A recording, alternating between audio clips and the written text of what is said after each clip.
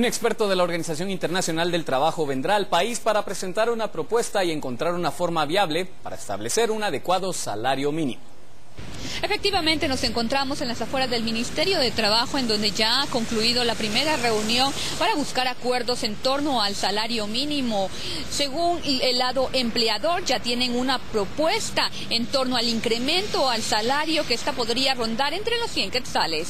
Bueno, hemos estado recibiendo información de parte de las comisiones paritarias agrícola, no agrícola de maquilas eh, tenemos entendido que en el caso laboral ya hay una propuesta concreta en términos de que el salario mínimo del país suba de 68 a 100 quetzales diarios.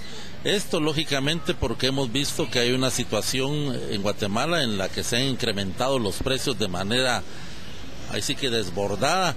Ya contamos con el acompañamiento de un consultor técnico, incluso propuesto por la Oficina Internacional de Trabajo con sede en Costa Rica, que es un economista que va a acompañar el proceso para poder elaborar eh, el nuevo salario mínimo en base a la eh, pues vamos a tratar de implementar la propuesta técnica que ellos han ideado. La próxima reunión se realizará el 19 de octubre. Hay que recordar que estas en años anteriores difícilmente han llegado a un acuerdo.